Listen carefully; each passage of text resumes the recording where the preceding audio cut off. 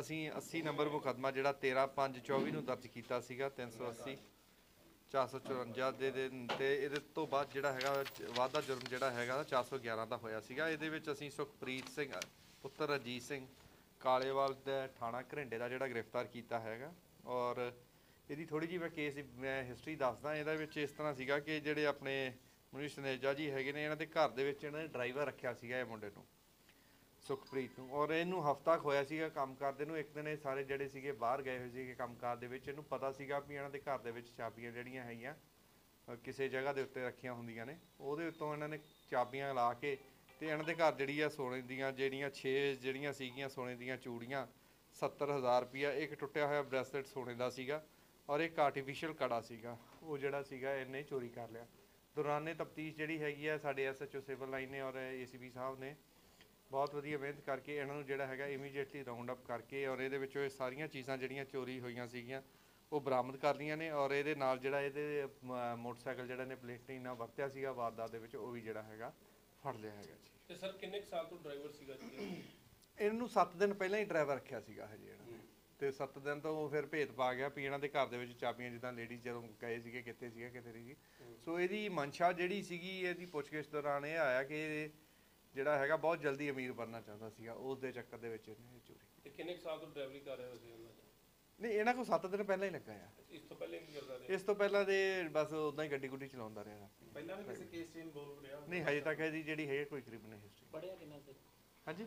ਪੜਿਆ ਇਹ ਪਲੱਸ 2 ਕੀਤੀ ਹੋਈ ਹੈ ਜੀ ਇਹਨੇ। ਬਸ ਲਾਲਚ ਹੀ ਮਾਰ ਗਿਆ ਕਿ ਜਲਦਾ ਅਮੀਰ ਬੰਦੇ ਜਿਹੜੇ ਹੈਗੇ ਆ ਉਹਦੇ ਵਿੱਚ ਜਿਹੜਾ ਹੈਗਾ ਸਰ ਟੋਟਲ ਗਹਿਣਾ ਪਾ ਕੇ ਕਿੰਨੀ ਕੀ ਰਿਕਵਰੀ ਹੋਈ ਹੈ ਇਹ ਟੋਟਲ ਜਿਹੜੀ ਹੈਗੀ ਆ 85 ਗ੍ਰਾਮਸ ਆਫ ਜਿਹੜੀ ਹੈਗੀ ਆ ਸੋਨੇ ਦੀ ਹੈਗੀ ਆ ਤੇ ਨਾਲ ਜਿਹੜਾ ਹੈਗਾ 70000 ਰੁਪਏ ਕੈਸ਼ ਟੋਟਲ ਲੁੱਟ ਕਿੰਨੇ ਦੀ ਕਰ ਦੇਣੇ ਲਗਾਈ ਤੁਸੀਂ ਆਪ ਹਿਸਾਬ ਲਾ ਲਓ ਕਿ 88 ਜੋ ਅੱਜ ਦਾ ਸੋਨੇ ਦਾ ਰੇਟ ਹੈਗਾ ਇਨਟੂ ਕਰ ਲਓ ਫਿਰ। ਨਹੀਂ ਸਰ ਜਿਹੜੀ ਘਰ ਵਾਲਿਆਂ ਨੇ ਫੈਮਿਲੀ ਨੇ ਲੁੱਟ ਕਿੰਨੀ ਕੁ ਲਗਾਈ? ਲਗਾਈ ਉਹੀ ਜਿਹੜੀਆਂ ਚੀਜ਼ਾਂ ਲਿਖਾਈ ਸੀ ਉਹੀ ਰਿਕਵਰ ਹੋਈਆਂ। ਸਾਰੇ ਰਿਕਵਰ 100% ਉਹਨਾਂ ਨੇ ਲਿਖਾਇਆ ਸੀਗਾ 70000 ਲਿਖਾਇਆ ਸੀਗਾ।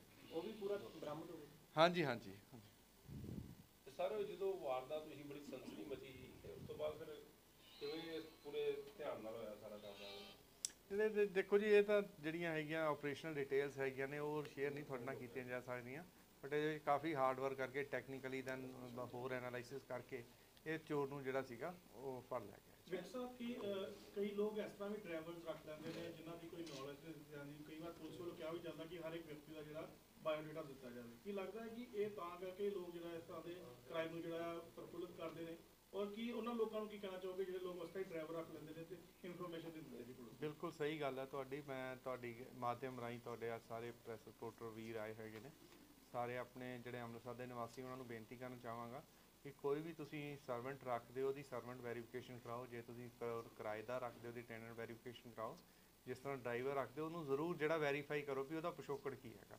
ਉਹ ਬੰਦਾ ਕ੍ਰਿਮੀਨਲ ਤਾਂ ਨਹੀਂ ਹੈਗਾ। ਜੇ ਉਹ ਕ੍ਰਿਮੀਨਲ ਹੈਗਾ ਤਾਂ ਉਹਨੂੰ ਜਿਹੜਾ ਹੈਗਾ ਉਹਦਾ ਪਤਾ ਕਰਕੇ ਕੰਸਰਨ ਜਿਹੜਾ ਐਸਐਚਓ ਹੈਗਾ, ਉਹਨੂੰ ਦੱਸਿਆ ਜਾਏ। ਸਾਡੇ ਸਾਂਝ ਕੇਂਦਰ ਦੇ ਵਿੱਚ ਜਿਹੜੀ ਪ੍ਰੋਪਰ ਜਿਹੜੇ ਇਹਦੀ ਹੈਗੀ ਹੈ ਇੱਕ, ਉਹ ਵੈਰੀਫਿਕੇਸ਼ਨਸ ਦੀ ਉਹ ਲਿਸਟ ਹੈਗੀ ਆ। ਤੁਸੀਂ ਉੱਥੋਂ ਜ਼ਰੂਰ ਇਹਦਾ ਫਾਇਦਾ ਲੈ ਕੇ ਆਪਣਾ, ਜ਼ਰੂਰ ਮੇਰੇ ਹਿਸਾਬ ਨਾਲ ਹਰ ਬੰਦੇ ਨੂੰ ਜਿਹੜਾ ਵੀ ਬੰਦਾ, ਜਿਹਦਾ ਨਹੀਂ ਉਹਨੂੰ ਨੂੰ ਪਤਾ ਹੈਗਾ, ਉਹਦੀ ਜ਼ਰੂਰ ਟੈਨੈਂਟ ਵੈਰੀਫਿਕੇਸ਼ਨਸ ਜਿਹੜੀ ਸਰਵੈਂਟ ਵੈਰੀਫਿਕੇਸ਼ਨ ਜਿਹੜੀ ਹੈਗੀ ਹੈ ਔਰ ਸੈਕੰਡਲੀ ਇਦਾਂ ਕੋਈ ਵੀ ਆਪਾਂ ਸਰਵੈਂਟ ਨੂੰ ਰੱਖਦੇ ਹਾਂ ਤਾਂ ਸਰਵੈਂਟ ਵੈਰੀਫਿਕੇਸ਼ਨ ਬਹੁਤ ਜ਼ਰੂਰੀ ਹੈ। ਸਰ ਇਹ ਤੇ ਸ਼ੱਕ ਸੀ ਕਿ ਜਿਸਲੇ ਵਾਰਦਾਤ ਹੋਈ ਕਹਿੰਦੇ ਉੱਥੇ ਨਹੀਂ ਉਹ ਤਾਂ ਨਹੀਂ ਸੀ ਸ਼ੱਕ ਬਟ ਸਾਡੀ ਇਨਵੈਸਟੀਗੇਸ਼ਨ ਦੌਰਾਨ ਸਾਨੂੰ ਇਹ ਪਤਾ ਲੱਗ ਗਿਆ ਕਿ ਉੱਥੇ ਮੌਜੂਦ ਰਿਹਾ ਵਾ ਪਹਿਲੇ ਉਹ ਜਦੋਂ ਵਾਰਦਾਤ ਤੋਂ ਬਾਅਦ ਵੀ ਉੱਥੇ?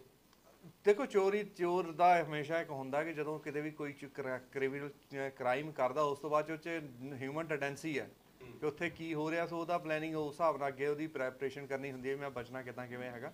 ਸੋ ਨੈਚੁਰਲੀ ਇੱਕ ਹਿਊਮਨ ਇਨਸਟੈਂਟ ਹੈਗਾ ਵੀ ਜਦੋਂ ਤੁਸੀਂ ਕ੍ਰਾਈਮ ਕਰਦੇ ਹੋ ਉਸ ਤੋਂ ਬਾਅਦ 'ਚ ਉੱਥੇ ਕੀ ਹੋ ਰਿਹਾ ਉਸ ਨੂੰ ਜਾਣਨ ਦੇ ਲਈ ਉਕਸੁਕਤਾ ਤਾਂ ਜ਼ਰੂਰ ਹੁੰਦੀ ਹੈ ਉਸੇ ਉਕਸੁਕਤਾ ਜੋ ਵੀ ਉੱਥੇ ਫੈਮਿਲੀ ਬੈਕਗ੍ਰਾਉਂਡ ਕੀ ਹੈ ਸਰ ਜੀ?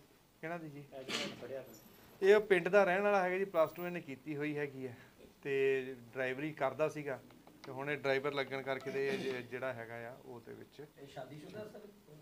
ਨਹੀਂ ਹਜੇ ਤਾਂ ਨਹੀਂ ਪਤਾ ਲੱਗਾ ਜੀ ਕਿਵੇਂ ਕ੍ਰੈਕਡਾਊਨ ਕਿਵੇਂ ਸੂਈ ਪੁਲਿਸ ਦੀ ਕਿਵੇਂ ਪਹੁੰਚ ਗਈ ਉਧਰ? ਕਿਉਂਕਿ ਦੇਖੋ ਇਹ ਤਾਂ ਮੇਰੇ- ਦੇਖੋ ਇਹ ਚੀਜ਼ਾਂ ਜੇ ਅਸੀਂ- ਜਿਸ ਤਰੀਕੇ ਨਾਲ ਹੋਇਆ ਸੀ ਲੋਕੀ ਕਹਿੰਦੇ ਸੀ ਚੋਰੀ ਹੋਈ ਹੈ ਜੀ ਬੜੀ ਵੱਡੀ। ਦੇਖੋ ਜੇ ਇਹ ਚੀਜ਼ਾਂ ਅਸੀਂ ਤੁਹਾਡੇ ਨਾਲ ਸ਼ੇਅਰ ਕਰਾਂਗੇ ਫਿਰ ਅਗਲੇ ਵਾਰੀ ਹੋਰ ਸਤਰਕ ਹੋ ਜਾਣਗੇ ਉਹ ਚੀਜ਼ ਕਰਨਗੇ। ਸੋ ਇਹ ਚੀਜ਼ਾਂ ਅਸੀਂ ਨਹੀਂ ਤੁਹਾਡੇ ਨਾਲ ਸ਼ੇਅਰ ਕਰਦੇ ਨਹੀਂ ਹਜੇ ਤੱਕ ਨਹੀਂ ਹੈਗਾ ਬਟ ਥੈਂਕ ਯੂ ਜੀ। ਸੋ ਮੇਰੇ